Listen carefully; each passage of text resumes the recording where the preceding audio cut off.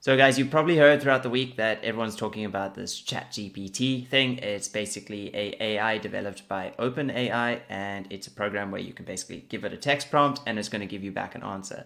And this thing is blowing the minds of everyone, especially digital creators, marketers, people in business, entrepreneurs like yourself, or potential business owners like yourself and it is really, really incredibly powerful. So what I'm going to do today is show you how I've just like one single use case of how I've used it. Uh, I use it within Integromat, which is um, it's now called Make, and basically you can connect it and then do a whole bunch of automations. I am very pro automation. I think it's an extremely useful business tool, especially if you're trying to get started. It's a way to save on costs and save on time. So I am a very, very, very big fan of automation. But now throwing this AI into it is like a whole different curveball. So anyway, okay, I'm going to show you here on the screen uh, what I'm talking about.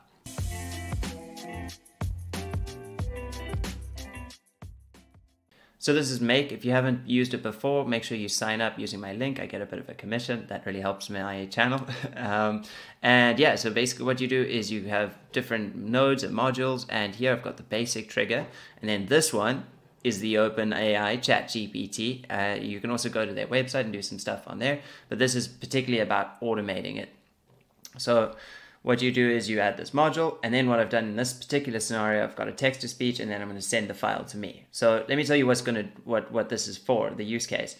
I wanted to create a automation of an of summarizing my YouTube transcript into a paragraph which I could then either use potentially for my YouTube description and then I just like wanted to go a little bit uh, like one step further and put it into a text to speech as well and then send the audio file to myself. So as a, as a audio file. So this is also using uh, Google's uh, Neural 2, which is an AI text to speech uh, module. And then this is the OpenAI Chat GPT. So anyway, let me show you basically how it's going to work. So within tools, basic triggers, this is where you would create your uh, default sort of um, inputs uh, because we're going to have just a manual input. You could have some sort of automation about where you get your information from, but in this case, I've gotten my YouTube transcript. So here was a video I did a, a while back. I just, you can go down here, toggle transcript and get rid of the timestamps and then just like highlight everything, come back over here and paste it in. You can see it's so long YouTube transcript. Um, it's about, I think it was about two, three, four hundred words. It was quite a, quite a, quite a lot. Then within uh, OpenAI uh, ChatGPT module, you've got the different models, which is, uh, in this case, I'm using Text DaVinci 003, which I think is the best one, but there's a whole bunch of different ones you can check out on, on their site. Uh, you Then I'm going to, this is the prompt. So this is what you would type into ChatGPT. So can you summarize the following transcript into less than 100 words and then insert the transcript from this module? So then it pastes it at in essentially I could probably take this trigger away and then just paste in this prompt with the text transcript. Your tokens, you do have a limit on tokens unless you've got your credit card in OpenAI. So I've just put a limit on the number of tokens. And then there's a bunch of other settings that you can go through, but they're not too important.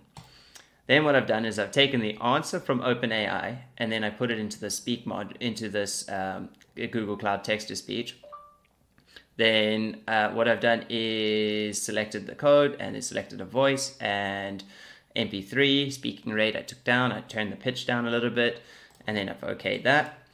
And then the last thing is I've got a module that I'm basically going to send it straight to my phone with the uh, with the with the with the text and yeah so that's that's essentially it so let me show you how that works just center the video here and then we can run it just like this. So it's taking that transcript, it's sending it to the OpenAI, very quick response.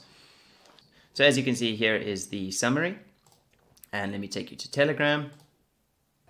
And as you can see here is the video summary. Black Friday can be chaotic, so here are five tips for surviving the busiest this. retail day of the year. Firstly, plan ahead with a single day sales window to create a sense of urgency.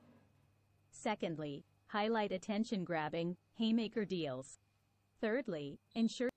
So as you guys can see, this is like incredibly, incredibly accurate and well said. So I also I did limit it to to summarize it in less than 150 words, and it is really really spot on with regards. I mean, yeah, compared to the whole video and like how it just did that whole transcript. I think I mean the YouTube video is not just uh, it's five steps. It's like me, you know, I waffle on about this and that, and like I, I tend to like lose topic and point, and I, I ramble and this just absolutely narrowed it down. So like if you guys can think of the potential for this, this is just like one use case. You could summarize entire articles, put it through, tweet this. So like do your video, grab the there's an API for YouTube. I'm sure you can grab that transcript automatically.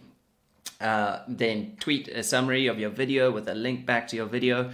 There's just like so so many possibilities here that you guys could do and it's like a little bit scary i must say personally with this ai thing I'm overwhelmed, and I think the world is going to change a lot with regards to where we're going to be next year. Um, if this is what it can do now, they say apparently it's going to be there's going to be another update in like six months, and it's going to be like 500 times more powerful. So yeah, we've got a bit of a road ahead. Um, if you guys are running a business, I highly, highly, highly recommend you try use some AI in your business whatsoever. If it's like writing blog articles with SEO optimization and things like that, those things you can do right now. Just go over to the ChatGPT website and you've got free credits. And yeah, it's it's just immensely powerful. So guys, that's about it for me today. If you guys like this video, make sure to like and subscribe, and hopefully I'll check you in another one.